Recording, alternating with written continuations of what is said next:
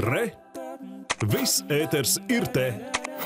Снова к событиям Латвии. Прошедшей ночью многие рижане не могли уснуть из-за сильной грозы. Над столицей метеорологи зафиксировали более сотни разрядов молний. В основном на правом берегу Даугавы и в Болдерае. Всего же на территории Латвии и Рижским заливом молнии сверкнули более двух тысяч раз.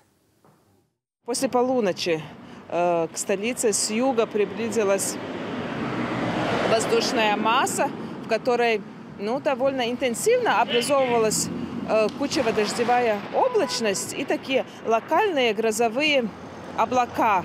Э, в целом облака не были большие, э, не охватывали большую территорию, много отдельных облаков, но довольно высокие, достигая 10 километров и больше, так интенсивно образовывались, и потом опять исчезали, и иначе начали образовываться новые э, облака. Грозовая погода сохранится в Латвии этой ночью и завтра днем, хотя уже будет не так жарко, а вот в воскресенье и понедельник гроз ожидается мало.